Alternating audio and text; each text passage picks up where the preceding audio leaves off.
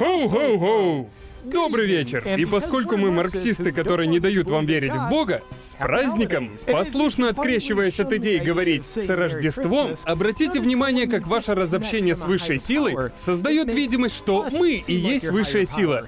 Ведь мы не спосылаем вам истину отсюда сверху. Сегодня у нас в новостях смерть, коррупция и газлайтинг в связи с коррупцией. После такого ваша нервная система уже не будет прежней. К нашей главной новости. В так называемом пруфе файлы Твиттера раскрыли, что ФБР платит Твиттеру миллионы долларов за цензуру свободы слова американцев. 3,4 миллиона долларов, если точно. Давайте-ка разберемся. ФБР не имеет собственного дохода в силу своей бесполезности. Посему оно опирается на налоги во всех своих операциях, которые платите вы. А ФБР платит ваши деньги сотрудникам Твиттера за цензуру вас.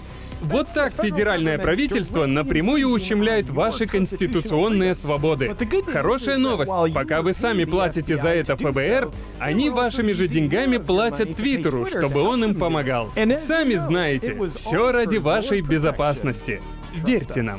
И что же нам на это все скажет ФБР?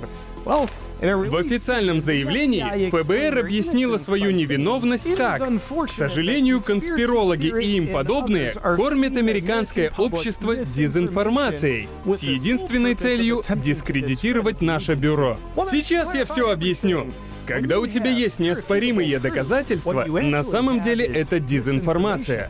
А люди, которые раскрыли эти доказательства, конспирологи, вот вам простая истина. И никакого газлайтинга. И никакого газлайтинга в том, что мы говорим, что никакого газлайтинга. А теперь грустная новость. Директор отдела здравоохранения Канады, возглавлявший канадскую группу довольно агрессивного реагирования, включавшую обязательную вакцинацию ядом, неожиданно скончался в возрасте 35 лет.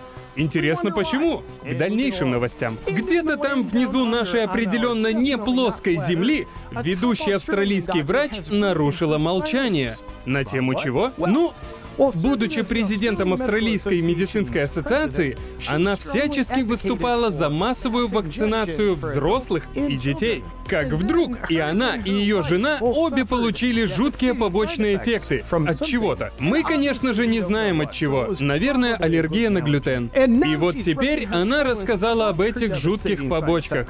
И таким образом открыто раскритиковала законодателей за попытку контролировать общество путем запугивания врачей. И теперь, в конечном итоге, мы тупо не желаем знать, что там к чему, так что придется вам включить воображение. И непонятно, с какого перепугу доктор Роберт Мэлоун вдруг написал книгу под названием «Ложь, которую мне говорило правительство». Это наверняка никак не связано с предыдущими историями. И как в романе 1984, где в вымышленных новостях полиция мыслей со создавала новояз, меняя словарное определение слов, женщина только что получила новое определение в словаре.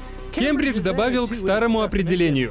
Взрослый человек, который живет и идентифицирует себя как женщина, хотя при рождении ему мог быть присвоен другой пол.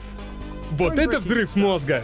Хотя изменение определения слова «женщина» не меняет того, что есть женщина, это определенно меняет то, что мы хотим заставить вас считать женщиной. Ради всеобщего блага, разумеется. Ой, как раз вспомнил. Мне надо найти специалиста по заболеваниям женских простат. Как-то она у меня болит, когда я поворачиваю голову и кашляю. Ты это... Дай знать, если найдешь хорошего. Но работа полиции мыслей на этом не заканчивается. На этой неделе издевательства над объективной истиной продолжили в Стэнфорде. Один из ведущих американских университетов заявил, что слово «американец» теперь оскорбительное. Термин «гражданин США» следует употреблять отныне. Слово «бравый» теперь тоже считается оскорбительным, и Стэнфорд рекомендует заменить его на «ничего». Они указали «прочерк», не используйте. Нам любопытно, как наши бравые американцы, наши великие лидеры, будут выкручиваться, если и бравые, и американцы теперь считается оскорбительным. Но самая лучшая новость. Теперь в Стэнфорде ты платишь самые большие деньги за образование, которое делает тебя самым глупым человеком в стране. А, Глупый тоже оскорбительно. Теперь тебя следует называть скучный или неврубной.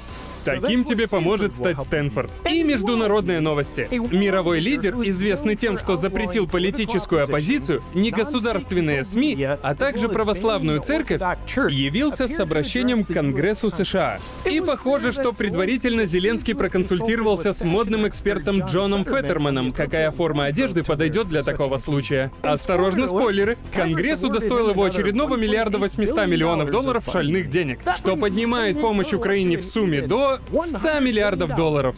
Хватило бы на то, чтобы каждый конгрессмен взял 200 миллионов долларов в свой округ и пустил на что-то хорошее для людей, которых он представляет. Но, к счастью, у нас такого не произойдет. Тем временем, кризис у нас на границе по-прежнему не кризис. Ой, а, ты там скажи им, чтобы изменили определение слова «кризис». Тогда люди перестанут задавать неудобные вопросы. И, наконец, зовите детей. Настало время для специальной рубрики «Трекер Санты».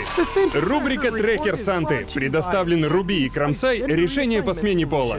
Уродуем с 2021 -го. Дети, наш небинарный радар, заметили движение Санты, отследив его перемещение с Северного полюса вниз к Тихоокеанскому северо-западному региону. Последний раз Санта был замечен в Портленде, где по некоторым подозрениям антифашисты разграбили его сани, а его самого мирно растоптали в пюре за то, что он белый. Явно наступила зима любви. Детишки, кажись, Санта умер во имя равенства. Вот и все на сегодня. Язык меняется, число сторонников вакцинации сокращается, а ФБР с трудом защищает само себя от вас. Желаем вам счастливого праздника! Желательно без еды, тепла и присутствия духа. Практикуйтесь в коммунизме. Это вам очень пригодится в новом году. С праздником! И черт с вами. Спокойной ночи! Привет, друзья! От лица канала by Drozd хочу выразить свою искреннюю благодарность за то, что целый год вы уже с нами. Да-да, нашему каналу исполнился один год. Давайте будем оставаться на связи, поэтому, чтобы не теряться, переходим по ссылочке в описании. Там вы найдете наш ВК, ТикТок и Бусти, конечно же. Всех с наступающим Новым Годом!